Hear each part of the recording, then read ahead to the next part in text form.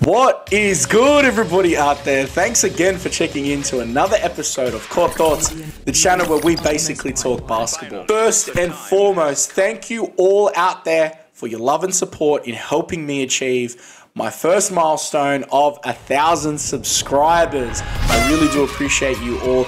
I've been doing this channel for just under a year and I have put a lot of effort and work into trying to make these videos as high quality as possible, always trying to improve video on video. So to see that I've impressed a thousand people to get them to tune in for more content each and every time I see that number, it makes me so happy, but this is just the beginning. I'm gonna keep pushing, but let's get straight into today's video. Today we are going to be reacting to Dyson Daniels. Yes, sir. This man was selected 8th overall by the New Orleans Pelicans. I am going to talk a little bit about his path coming into the NBA when I go through the breakdown. This man didn't go through the normal route, and uh, based on my recent videos that I've done around draft prospects, I've been focusing on players who didn't go through the NCAA, and this was also the case. This man came through the G League playing with the Ignite. I think that it's really important that you find your own route to get to the path that you want to get to, to get to the destination that you want to get to, I should say. Listen, let's just get straight into the video today, man. I'm so excited. The video that we are going to be checking out is from the NBA G League channel. As always, guys, please make sure you jump over there and you give them a like and subscribe. Give them some love, but I'll leave the link in the description if you want to check it out without my reaction for yourself. All right, guys, let's get straight into the video. All right, guys, let's check out the G League's video. Let's do it. Here's Hardy. Hardy. Back to Daniels. Dyson Oh, good collection. Good footwork. Did you notice when he collected the ball, his feet Daniels, were set straight in. 18 years old, Hopping straight from in. Australia, Yeah, stepping straight into the shot. drains it. Terrell read that well. He's going the other way. He's going all the way. Tried the jam Big and out body legs, bro. Daniels knocking it away. One defense. Here's Hardy. And an incredible block on this play. Terrell goes for the jam. Daniel says, not today. Ooh. Ignite leads 67 I love that. 65. We My man more G League effective on both ends, huh? I think he was just cold. he hadn't had a touch in a while. He looked chilly. Oh, Good day. Wow, the length. Swatted. Definitely got that length.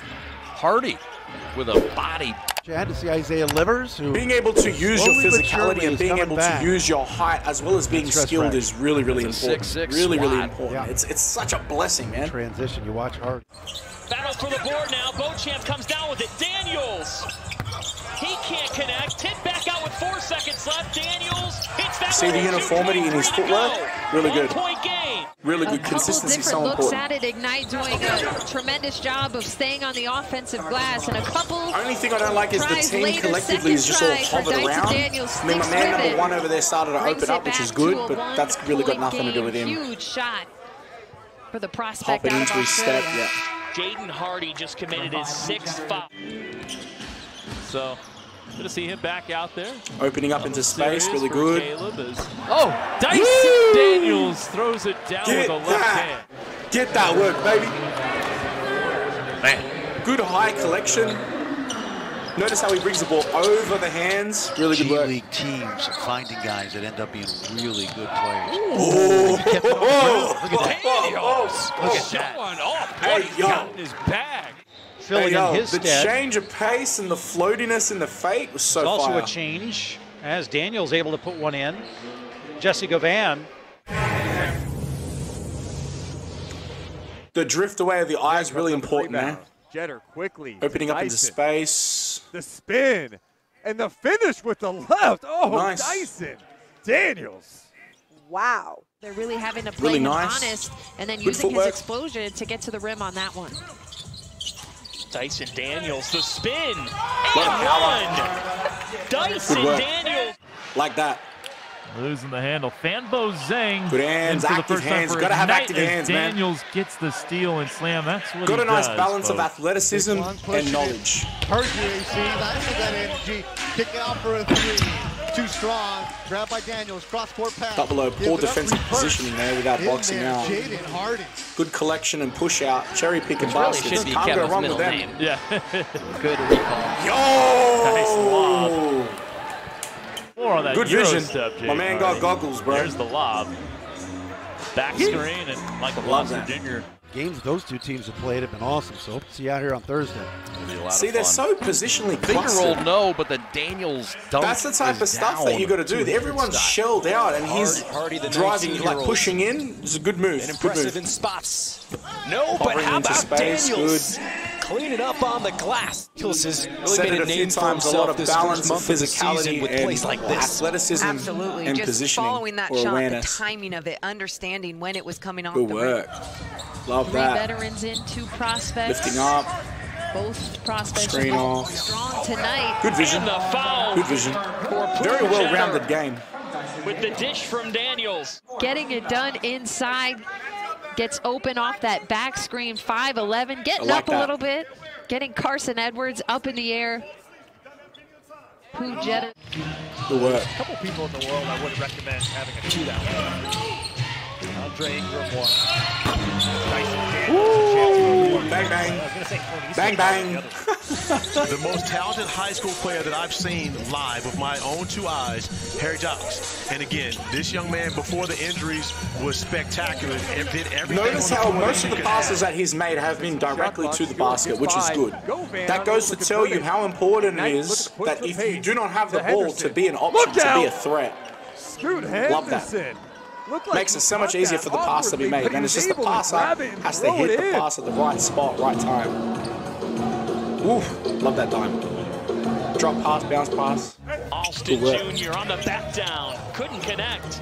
Ignite still with it defensively, though.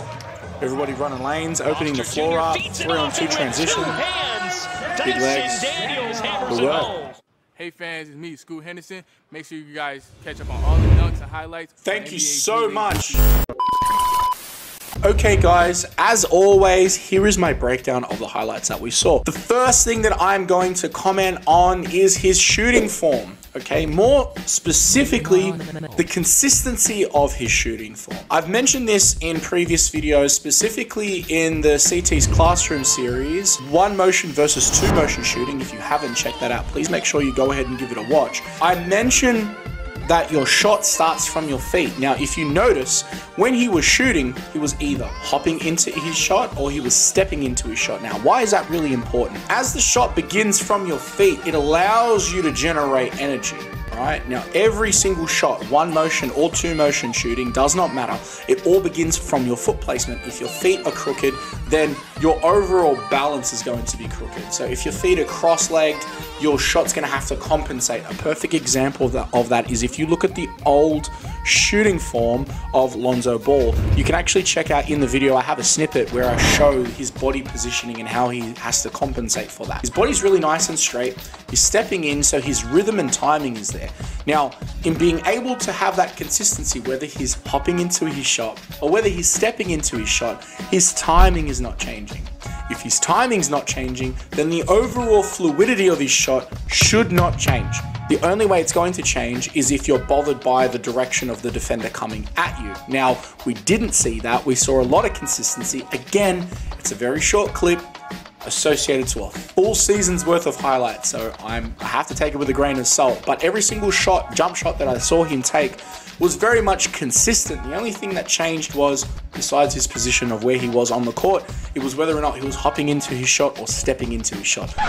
Sorry for the disruption, guys. Just to clarify, when I'm talking about stepping into his shot or hopping into his shot, I'm talking about whether or not he's taking a singular step and then two foot landing, or whether he's just literally jumping into a two foot landing. Either which way, I'm a big, big fan. If you're looking to improve your jump shot or your shot effectiveness, I would definitely suggest that you need to look at your overall form and how you are taking your shot. If your form is off, that's the first place that you need to be looking at. But the next thing that I want to talk about is his passing. Passing is such a critical function in the way that the game is played.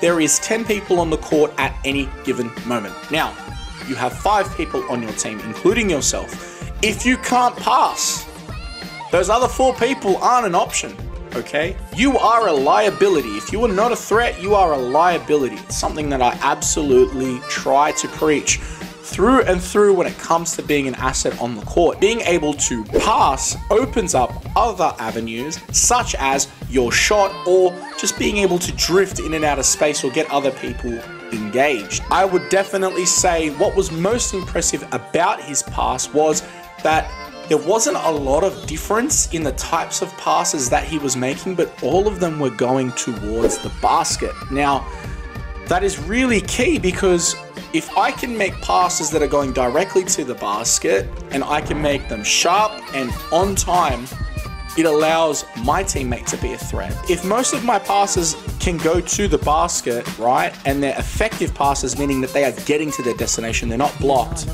not only is the basket area or the area around the basket generally going to be the most clustered area where there's more defenders, it's also going to have to be really critical with its timing and placement. Being able to put a pass to where it needs to be is one thing, but being able to get the ball to the spot that it needs to be when it needs to be there is equally what makes a great passer so valuable. When we saw these passes, the passes were happening at the right spot at the right time. It's so, so important to have that those two aspects working together. Fucking mosquito. So we saw that there was bounce passes, we saw that there was lob passes, we saw that there was straight up like just bullet passes or chest passes going straight into the lane. And I was really happy to see that they were getting where they needed to be when they needed to be there. So that's another critical part. If you can make sure that your passes are, are where they need to be, when they need to be there, it's it's gonna make you so much more valuable on the court.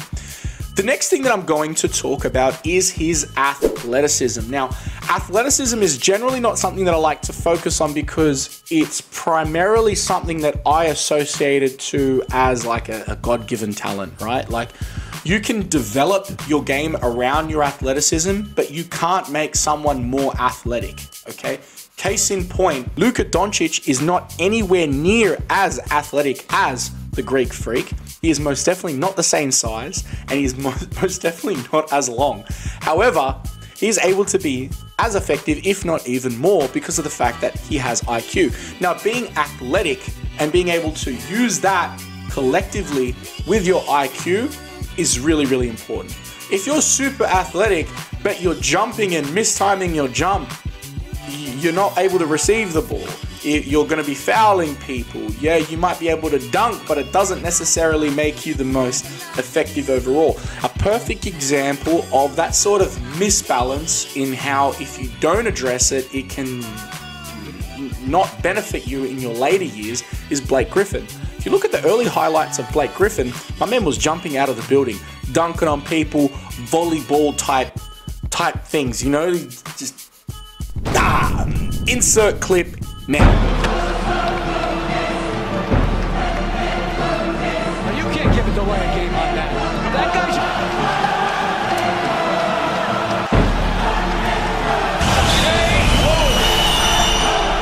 As you start to see that his game developed further and further into his later years, the athleticism dissipates. You can't beat Father Time. Not having a really good IQ on the game. Not saying that Blake Griffin doesn't have a good IQ on the game. He's been in the league for as long as he has, and he's still an effective player, in my opinion. But if you don't have that balance of athleticism and IQ as you begin to age, it's going to hurt you because, well, that type of stuff, it, it goes away. It, it, goes away. Perfect, perfect examples of when you see players that recognize this and change the way that they play. Kobe Bryant and Michael Jordan in their later years, their game changed. They weren't trying to dunk on people. They were working a lot more from the post. They were working a lot more from the mid range, their jump shot, how they were getting into shots, working in pump fakes, that type of stuff. They were being way more effective without having to do as much. Now, the reason why I'm calling this type of thing out is because it talks to the basis of good fundamental coaching. But having good coaches is one thing. Being able to absorb the information, understand it, and then apply it is even more critical. Now, Dyson Daniels, before he actually moved over to the G League, was part of the NBA Global Academy. The NBA Global Academy is a, a training uh, segment that is associated to the Australian Institute of Sport based in Canberra. A lot of the talent, a lot of the country's talent that we develop here um, primarily goes through the AIS. And there's really good quality coaching, but you don't get anywhere further with that information if you don't understand it and apply it. And so you can definitely see that he's used that information. The next thing that I want to talk about, and this is primarily going to be the last thing that I'm going to emphasize, is positioning. I would definitely say the team's rotational positioning was not great. I'm a big, big fan of opening up the floor. If you are clustered onto the court, uh, the defenders are clustered onto the court, and which means that you're not an option. And so if you can open up the floor and everyone drifts in and out of space, it makes it a lot easier for the defenders to get distracted, and it also makes the defenders have to cover more ground, which means I've got a better chance of making you tired or you potentially having mismatches or overlaps. And so being able to open up the floor is really critical. But the positioning that I'm going to talk about is if you notice, a lot of the time where he was positioned was primarily out on the 45. One of the things that I want to emphasize is his drifting into space.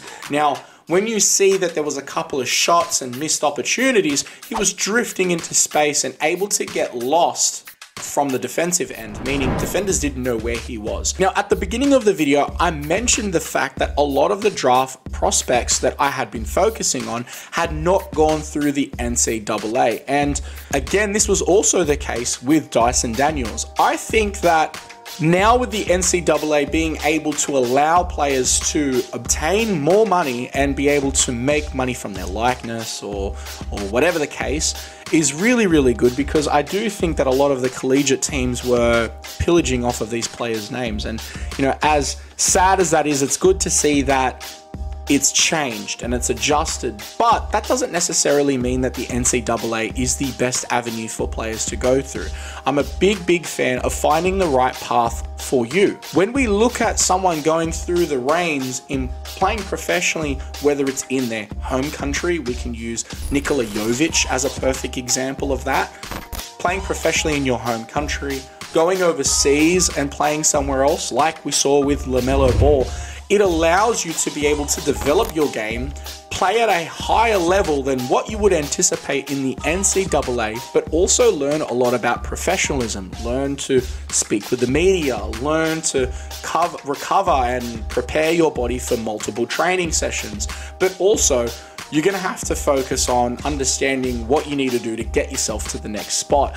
And I think that players going through and playing professionally in other countries is definitely an avenue that more players should be looking at. Just because a lot of players have gone through the collegiate route and there is a lot of eyes that are on the collegiate route, that doesn't necessarily mean that that is the best route. So I'm definitely excited to see what this man's season looks like in the year ahead, but also looking at how his game develops. There's a lot of really good baseline fundamentals that are there, but that's just the beginning.